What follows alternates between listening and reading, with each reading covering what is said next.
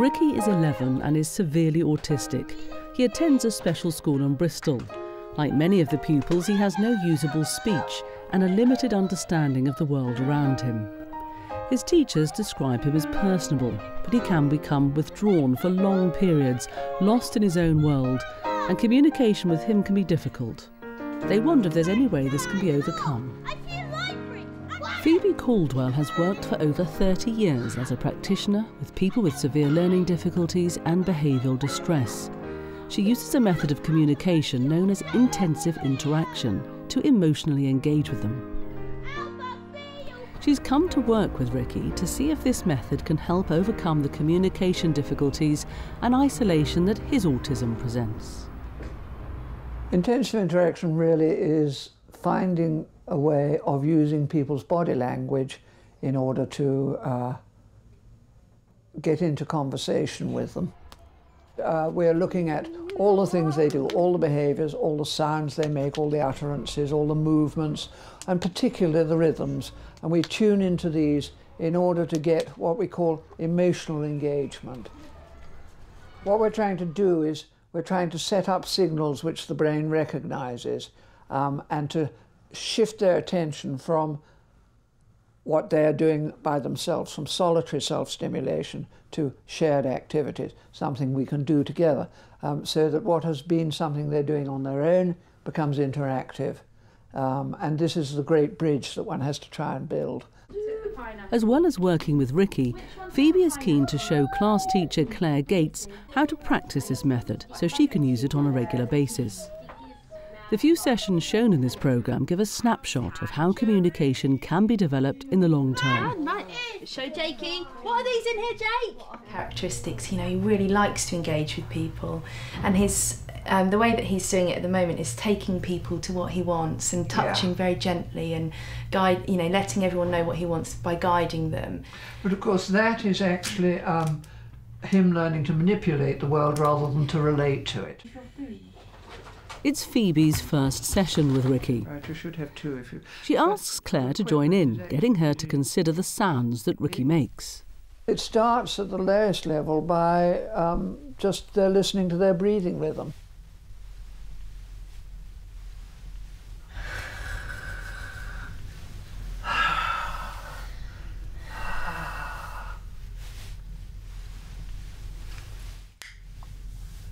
Because the person will listen to their own breathing, they'll actually hear it. Mm. So it shifts the attention from the inner self-stimulation mm. to shared. Yeah. And so it, you, you actually see very often, you know, the, the surprise. Mm. Where did that come from? We're always trying to shift the attention from solitary self-stimulation -hmm. to a shared activity. -hmm.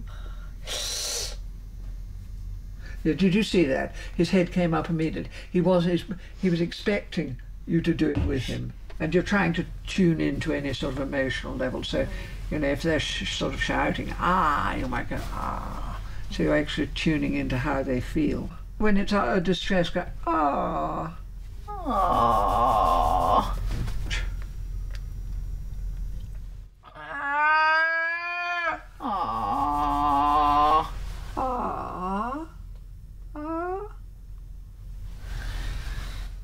Eventually turns round, beginning to show more of an interest in Phoebe and Claire. As well as being withdrawn, people with autism often display obsessional behaviours. For Ricky, this means sprinkling, running things like corn or gravel through his fingers. Phoebe wants to see how much Ricky will interact when he's sprinkling. It's his most obsessional behaviour, and he can do it for hours at a time if left undisturbed we need to pick up on all the positive bits. And it really may be flapping their hands or flapping a bit of string or banging a bead or um, playing with rice or whatever and watching it dribble away. Although these are fixations, we are going to use them for communication. I think that he likes this so much because one of the things he does a lot is play with his fingers, with his hands, and he's actually giving himself a better version of that stimulus when he's playing with this. And so it, it gives him a sensation he's really happy with.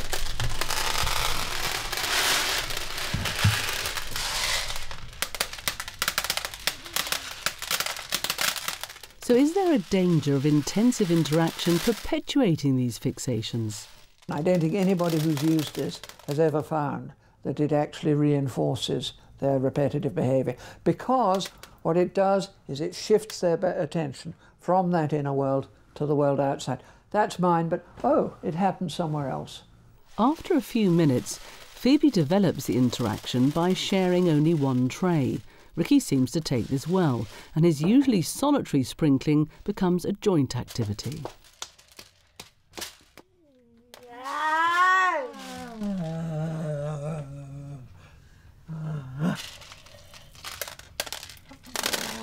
As soon as you uh, use, in, uh, use their language, you'll get the eye contact, you get an, an, increase in proximity, you get interest in, in what people are doing, you get emotional closeness. Can I have some more? Thank you. That's great. Now, put your foot there. Oh, great.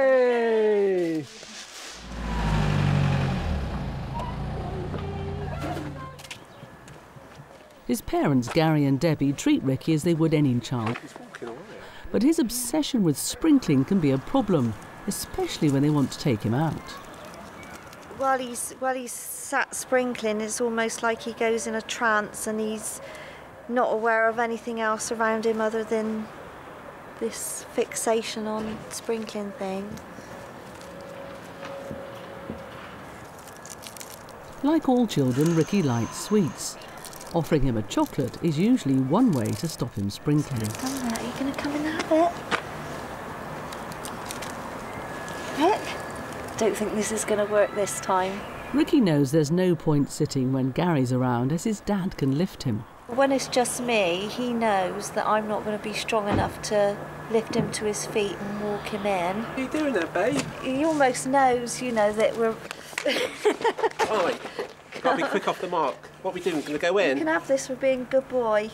you just laugh. He, he doesn't want that, do you? Hey, you don't want that. Phoebe has come along for tea to see how Ricky interacts at home. She wants to see whether Debbie and Gary might be helped by using this method with him. The reason he's doing this is he's giving himself this very powerful self-stimulus for his um, sort of muscles and joints and so Every time he gives himself a jerk, it helps him to know what he's doing. While Ricky and Gary are on the trampoline, Debbie questions Phoebe about Ricky's behaviour and the nature of intensive interaction. Should we be discouraging him with the stimulation, the sprinkling, and the. No, you can't. If you do that, you leave him vulnerable to all the things which he's actually finding very difficult to cope with. You actually need to work with it rather than against it. The things that they do on their own, you're trying to have fun with. You're um, setting up that uh, link, that interaction. And that relaxes him. Yes, it does. It really, really does. Following Phoebe's advice, Debbie has a go at using the technique with Ricky.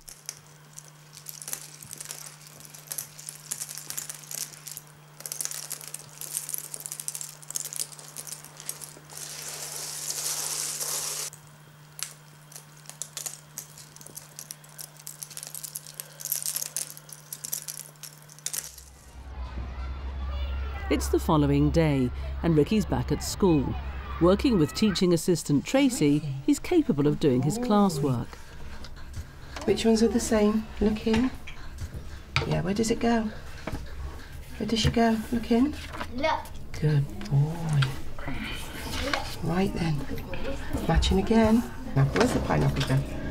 Good. Good boy, Ricky. And the orange. Well done.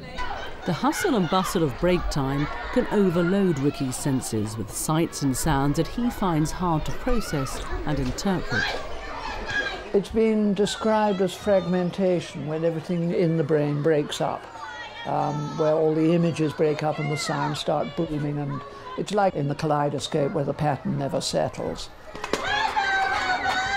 What we're doing is putting in sounds or movements, we're putting in signals rather like cat's eyes in the road, telling them where it's safe to go. After break, Phoebe and Claire begin another session of intensive interaction with him. What we're trying to do is make, give him the idea that every time he does something, he'll get an answer.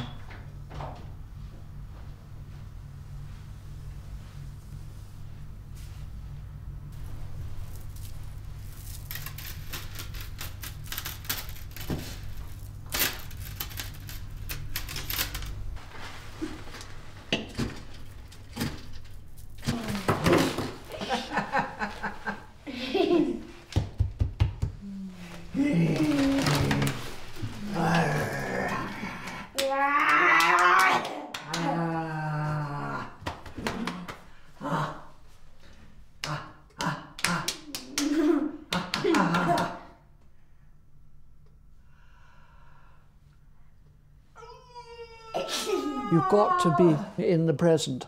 Otherwise, what you're saying to the child is, I'm not listening to you. And it's that establishing that link that I will listen and value every single thing you say or do and all the rhythms that are important to you or all the themes that are important to you. I will listen to them all and I will respond to you.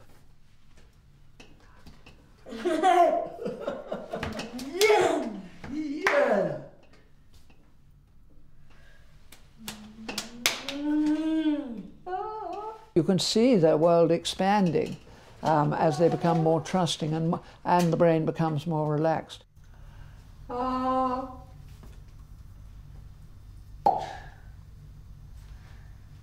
again? It's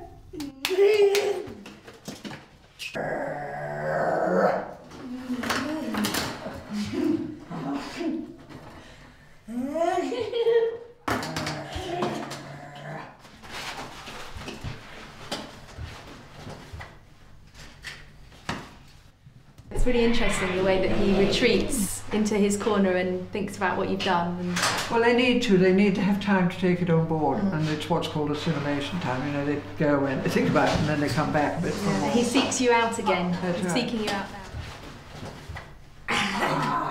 the intensive interaction would be really brilliant to helping him engage and share and explore an activity with somebody else. To So you break get emotional engagement as opposed to just "I- I want this. I want this, I want that." We make the Mm. distinction between functional communication Yeah. and emotional engagement, Mm, and this is what intensive interaction Yeah. really does.